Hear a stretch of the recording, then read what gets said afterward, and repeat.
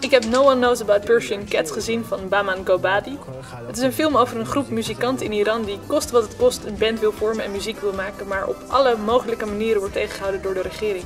Omdat er een grote censuur op uh, popmuziek en andere muziek is. Een leuke scène in de film waarin dat uh, goed naar voren komt is een scène van een metalband die echt in een koeienstal moet spelen.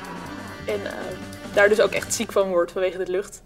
En ja, dat soort maatregelen moeten ze nemen om wel hun muziek te kunnen spelen ja, het feit dat alle locaties en muzikanten echt waren, dat maakt de film eigenlijk alleen nog maar mooier. Dat maakt het um, ja, ook een soort van documentaire tegelijkertijd. Omdat je ziet heel veel verschillende kanten van Teheran en Iran.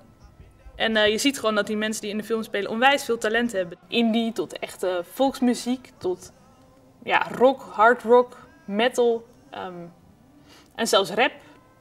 Uh, je hebt het allemaal in Teheran. En dat is heel tof. Ze laten met elke band ook een andere plek van Teheran of van de buitenwijken of van het platteland zelfs zien. En um, je ziet meestal die mensen dan ook spelen en dat, dat mengt zich zo goed in de montage.